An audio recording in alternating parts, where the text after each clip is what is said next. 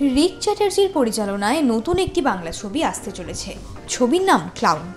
এটি পরিচালক রিক চ্যাটার্জির তৃতীয় ছবি। ছবিতে মুখ্য চরিত্রে অভিনয় করছেন ওম সাহানি, দেবলীনা কুমার ও ইন্দ্রনীল চৌধুরী। ছবির অন্য একটি মুখ্য চরিত্রে অভিনয় করছেন বিডি মুখোপাধ্যায়। এটি একটি ক্রাইম থ্রিলার হতে চলেছে। রহস্যের মোড়কে মূলত বর্তমান সমাজের প্রেক্ষাপটের গল্প বলা হবে এই ছবিতে। ন্যায় প্রতিবাদ প্রতিরোধী সুষ্ঠু সমাজের গঠনের প্রধান মাপকাঠি। কিন্তু অনেকেই প্রতিবাদ করে না।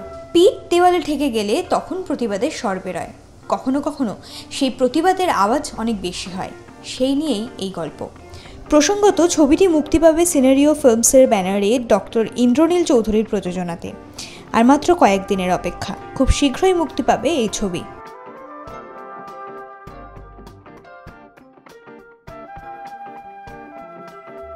Bureau report Arohi news.